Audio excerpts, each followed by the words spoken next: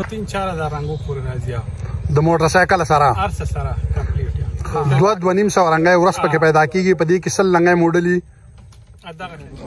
بل یو ملک ته مزه دلته شکر دی خخ خپل مزدوري ده بسم الله الرحمن الرحیم ګرانو کتونکو السلام علیکم سنهان ما نیخ پنیغا د خپل چینل خپل کاروبار پستر غبانه د یو ورور بای سره میلاو شوم په سنگای پلی کې چې را سنگای پلی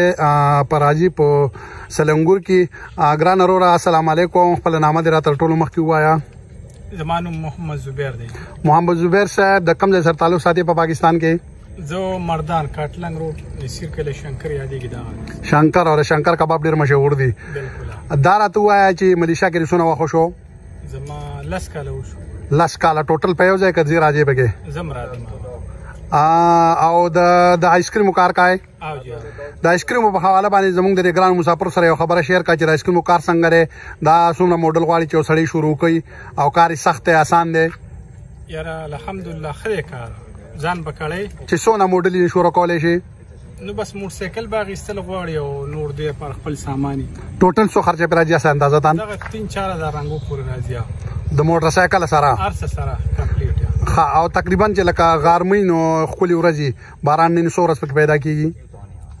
دغه دوه دوه نیم سو رنګي کیږي ټوټل دوه دوه نیم سو رنګي ورځ پکې پیدا کیږي په دې کې سل لنګي موډلي دغه شان دي یو نیم سلنګ ته پاتې کیږي ماشاءالله لکه تقریبا دا 4500 رنګ میا شو دا ته په خپل باندې وای لکه زماره طرفه پکې صدقه نشي لکه ته وای کنه چې دونه کې پاتې کیږي ها دا راته وای چې د ملیشیا په حواله به زمونږ د رګران کوتونکو سره یو خو غونته میسج شیر کا ملیشیا کې ژوند څنګه دی مسافری څنګه ده ټیم څنګه تیر وځي خو خپل تیر وځي الحمدلله بچي سي په کې ګرځي کنه خپل مزدوري کې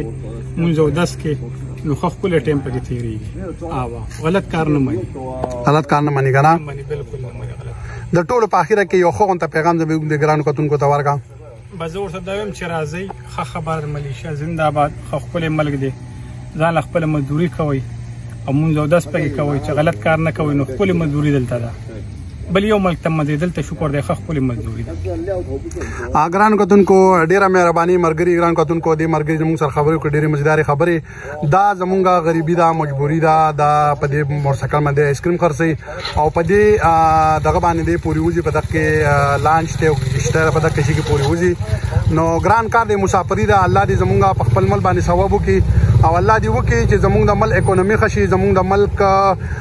حالات خشي زمونږ د مل حکمرانان خشي چې مونږ د مسافرې نه کو دغه زمونږ د ټولو دواګانې دي او ډېر ډېر مهرباني راکړئ مونږ ته اجازه السلام علیکم ورحمت الله وبرکاته